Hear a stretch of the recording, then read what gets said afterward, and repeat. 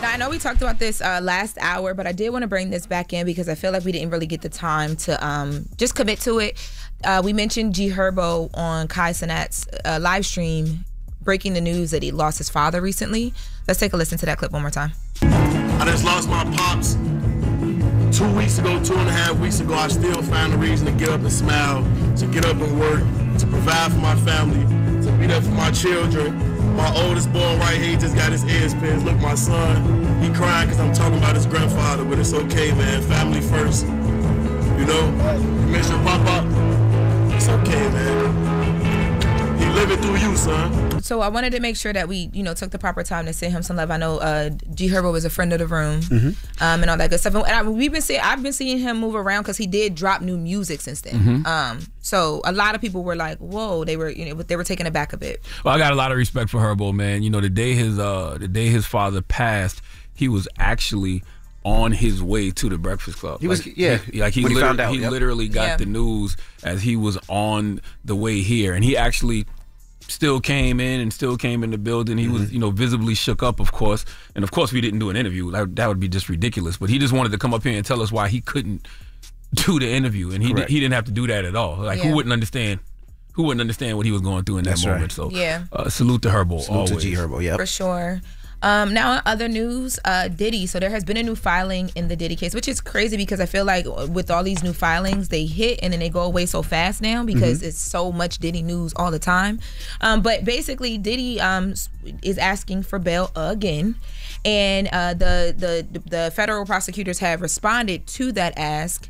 And basically, what they're saying is that they're alleging that from prison right now, Diddy is still allegedly trying to sway witnesses and trying to corrupt witnesses and trying to sway the jury. So they pointed out a couple things. So remember when we um, had that video of his kids wishing him a happy 55th birthday? Yes. And Baby Love was singing and it was like, you know, tearjerker. Now, common sense would tell you that, you know, posting stuff like that is, it goes to character. You want to speak to his character if you can as his children. Uh, but it was his birthday. So I think people didn't think much of it. Now, the feds are saying that they have on recorded, recorded phone calls allegedly that Diddy would do things like he would call his family members and say, hey, we need to post things on social media that jurors will hopefully see. And from that, they'll be able to, my, my character will look a lot better when they come in this courtroom.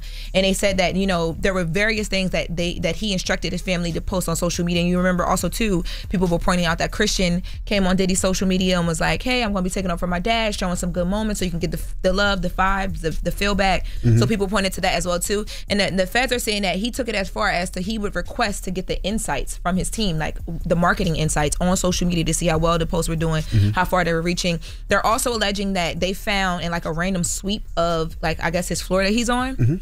They found some like notes he was taking, I guess, preparing for trial. And in those notes, he mentions paying off. Uh, uh allegedly, it mentions paying off Kalana, Kalani Harper, Kalana Harper, the girl from Dirty Money, to uh, release a statement. Remember, she came out and released that statement on Instagram saying, "I don't know what doing is talking about. I ain't seen nothing. I don't know nothing about that." So they're don't write raps, and I'm supposed to believe he was writing that type of stuff and just having it this is lying what around. this is what they're alleging. And they, they said that they have the notes. They said that the phone calls are recorded. Um, they also say on these recorded lines as well, Diddy is uh, you know, just encouraging different people to reach out to witnesses and stuff like that as well, who could provide like very uh harming testimony. I thought they said about a week ago that both sides weren't going to release things into the public that it was only going to be in court. So this is in court. This came out of a filing. So thi- Okay. so Diddy's team filed to say, "Hey, we want bail again," and they did the whole bail package rundown. And then the feds responded Gotcha. through documents that said, "Nope." We don't think he should get bail, and here's why. Mm-hmm. And um, you know, from what I know, Diddy seem, of course, will be responding back to this. So Mm-hmm. you'll hear that pretty soon. But this is all happening in the court. We just know because it's public filings. I, want, I wonder how hard it is for them, to, for them to pick jurors for cases like this. Oh, it gotta And- be tough. Yeah, and because and what I mean is not even. I'm not even thinking about you know what's happening on social media, what's happening in the news now. When you got somebody like Diddy who's been a part of culture for 30 plus years, I'm sure he has fans. Okay. right? So how do you pick a pick a jury that doesn't have people on it as his actual fans? Oh, not even that. Anybody that's swayed by anything that they seen, like the video of Cassie, that was everywhere. How, how can you get a juror that hasn't seen that video? yeah.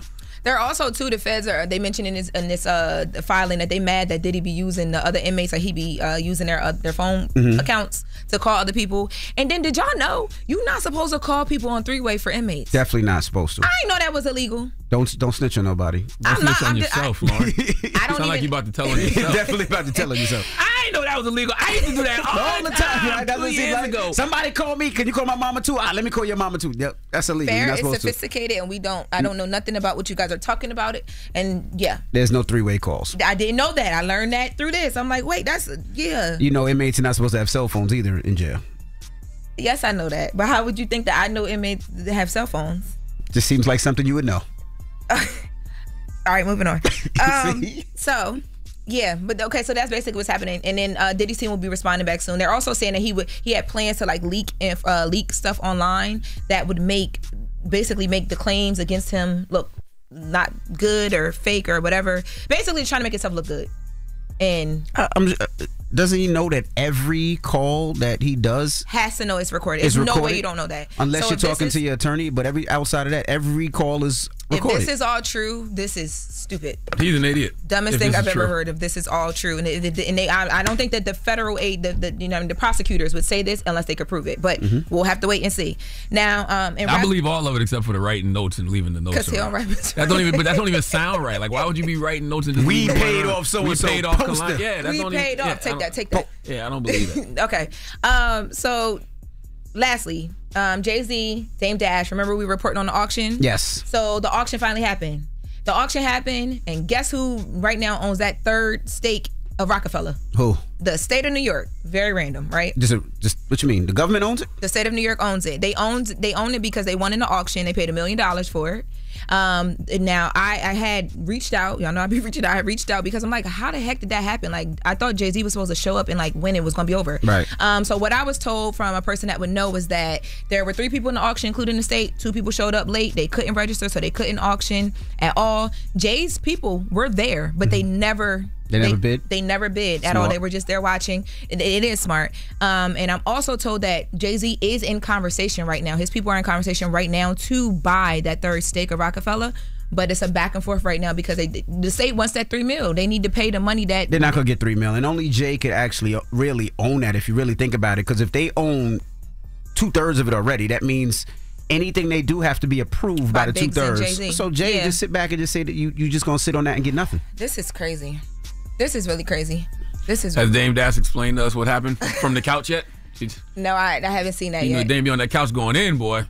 On that show, I forgot. What, it's one of the shows that's on his. No, no, couch. his You on a chair. He be on, a- You on a chair. That's a chair. That'd be a chair. Oh, I don't You know. are like one of the most. You are so shady. I don't understand why that shade. The way from that the from that couch. Or whatever it is, a couch chair, whatever it is, he be on there going in explaining stuff. So On Amer- he explained it? That's to on America's New, right? That's the Yeah, network. right? America's America's News Yes, Network. American News Network. I haven't seen his response, but I, I will keep you updated. Okay. I'm From sure he'll that do it this week. I'm sure he'll do it today. He gonna be on there cussing you out. You better relax.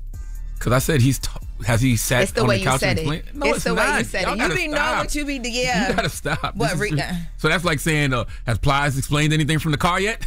Did In that the car? shady? How you being shady in the car? exactly. That's what they do.